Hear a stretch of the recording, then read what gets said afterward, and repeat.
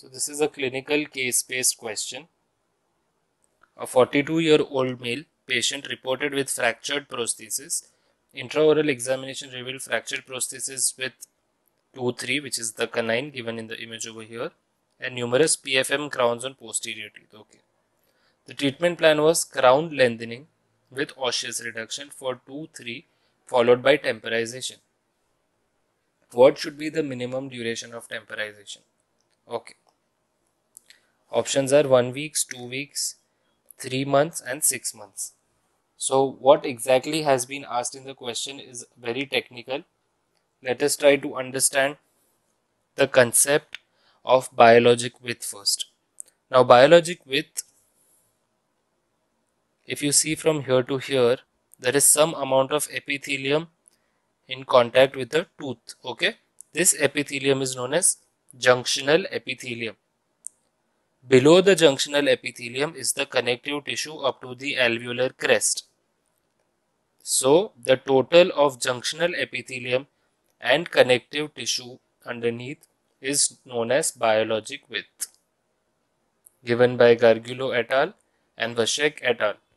The amount, the measurement of this junctional epithelium is 2.04 mm or nearly 1.9 mm.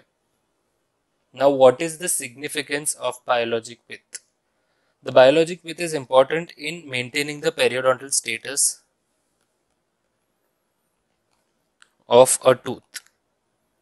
If the value of biologic width is reduced, that means if this epithelium compromised or if the connective tissue is compromised, it leads to bone loss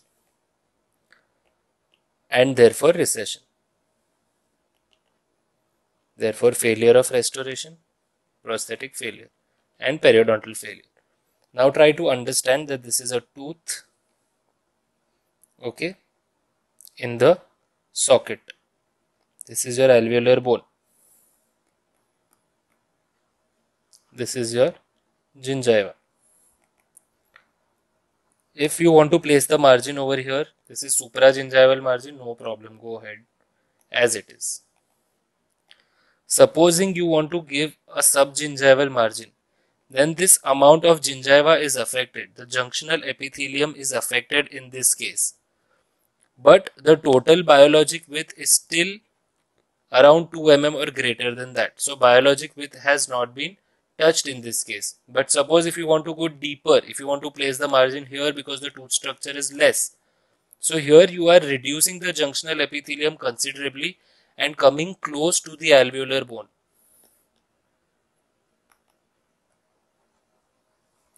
Because you are coming close to the alveolar bone, there is reduction in the epithelium, there is reduction in the connective tissue, there is reduction in the biologic width. So the body's response will be to take the alveolar bone away from the tooth. So there will be bone loss. Because the body wants to maintain this biologic width at all times. Because there is bone loss, again the gingiva will keep going down. So there will be gingival recession marginal breakdown.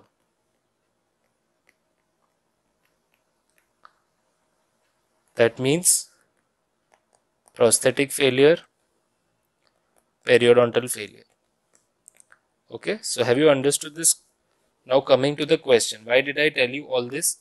Is because the treatment plan here was crown lengthening. That means some amount of gingival tissue is being removed with osseous reduction and some amount of bone will also be removed around the tooth in order to maintain the biologic width. Now for the entire process, for the entire healing to be over, you need at least 3 months to 6 months for soft tissue and hard tissue healing. Okay. The question is what should be the minimum duration of temporization? That means when will you make the final impression? Correct.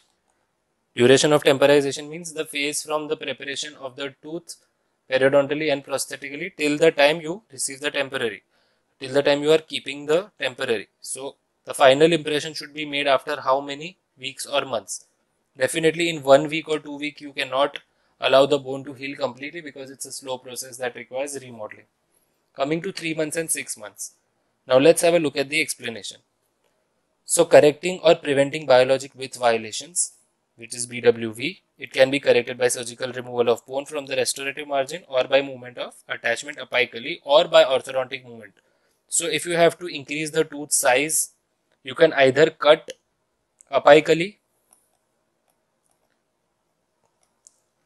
or pull it out incisally. So here perio comes into play, here ortho comes into play. In the current question, we are talking about crown lengthening.